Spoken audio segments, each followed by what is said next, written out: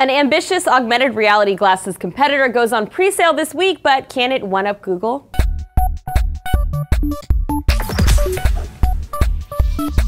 A company called Meta is selling augmented reality glasses called Space Glasses that want to make Google Glass look like yesterday's news. Here's an earlier video describing what these AR glasses have to offer.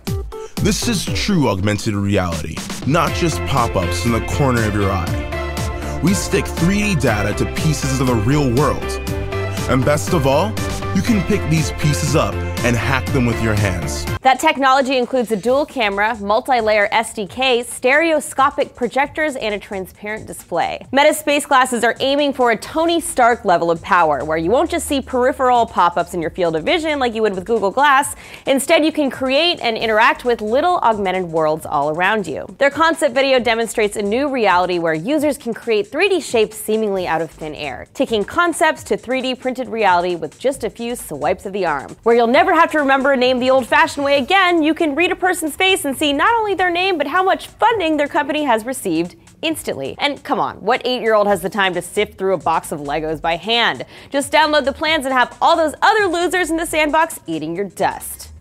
Plus, play the most augmented game of tag ever. Okay, that looks pretty fun. But will it live up to the concept video? According to the website, built-in software will include chess, a 3D sculpt and print tool, laser tag, something called voxel editor, and Metacraft, a Minecraft simulator. But what about all the crazy apps that would surely be possible with all that technology? Well, Rachel, the chatbot I talked to on Meta's website, didn't have much detail about what apps would be available at the outset, saying only that the apps will come with the SDK and that you'll be able to download free apps from the App Store store they're building, which will be online in a few days. So if you're a developer, $490 for access to the SDK and all that Unity 3D action may not be a terrible deal.